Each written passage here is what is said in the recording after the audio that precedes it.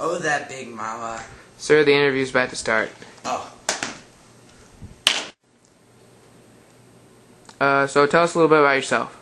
I'm Robert E. Lee. I'm 21 and I'd like to become General of the Confederate Army. Uh, so you are familiar with using military weapons? Oh, yeah, I hunt a lot and I'm really good with a musket. Uh, have you ever had anyone from your family in the military before? Oh, yeah, my father, Henry Lee, was in the Revolutionary War. Uh, so what are your views on slavery? Well, my family has always used them in plantations, but sometimes I don't feel it's right. Uh, do you know the risks of being in the military? Oh, yeah, I'm fine as long as I don't lose my right arm. Thanks for doing this interview. Oh, anytime.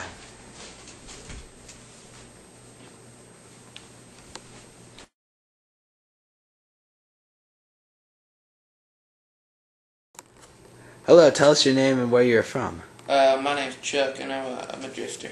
So, what are your skills? Uh, I guess you could say I'm pretty good with the blade. Are you alright? It's just a flesh wound, really flesh wound. It'll grow back. I'll get you a band aid. Are you okay? Yeah. Are you sure? No.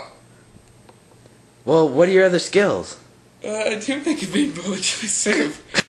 Well, that's the talent we really need in the military. Yeah, I won a couple of cook-offs back in Alabama. Is that right?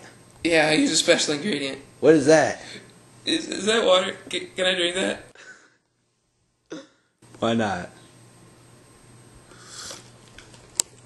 Well, if I told you the ingredient, I'd have to kill you.